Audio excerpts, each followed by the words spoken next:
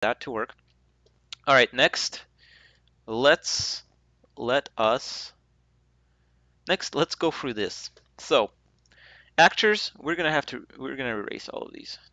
Oops, oops, oops. Pressed escape instead of delete. Other side of the board. Okay, so we're deleting all of these guys because we're gonna just customize the hell out of this. And then classes, we're gonna delete all these classes as well because we're not gonna have these. It's gonna be a while until I start getting going into this, but for now, this is how you make an RPG that's non-generic.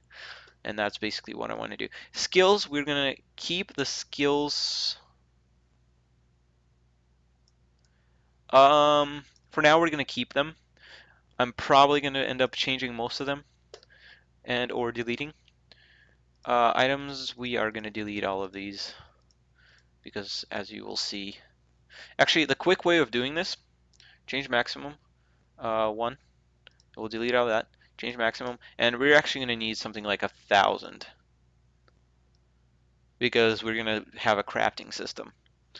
And uh, I want to space them out more because so that I have more room to expand. I'll have three separate crafting systems and the crafting system uses these exact numbers. So if I later on change add one more I can't simply scroll down. I will have to go back into the coding and actually change the numbers in the coding. So I want to space it out. That's why I created all these. I might even need more but for now let's just stick with a thousand. Wait hang on. I don't think it I don't think it's gonna let me do more than a thousand. Yeah 999 that's the max. Yeah all right, so we're gonna have to work with that. Anyhow, weapons, um, we're gonna delete all of this as well. One, okay. Change maximum. Let's just set that to 60. We don't need as much here. Uh, delete this one though. Armors, uh, same thing. One, change maximum to 60. Delete that one. Enemies, we are going to keep these for now. Troops, now this is like a shortcut for setting up battles. We're going to keep these for now because I'm not going to mess around with it now.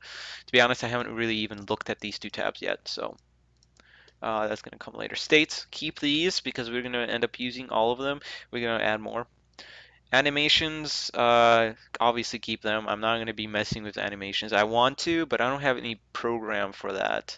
I could get it, of course, but um, anyhow. Now we have uh, tile sets.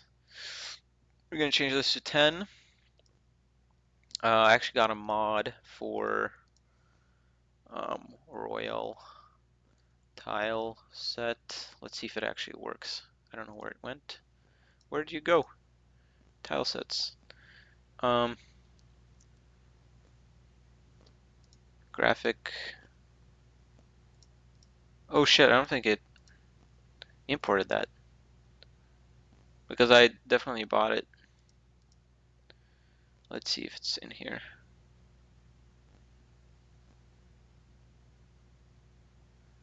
Yeah, it's probably not in here. Anyhow, I'll look into it later. But um, I just set that to none for now, I guess. And how this works is actually um, when you draw this, you have three modes of passage. Basically, X means you can't pass it, O means you can pass it, and you also have star. You change them by clicking, obviously. I don't know why you can't edit this one though. You can't set it to star for some reason. But if you change it to star, you'll be able to pass it behind it. That's sort of how it works. And in common events, uh, not going to be using these for now. But those are like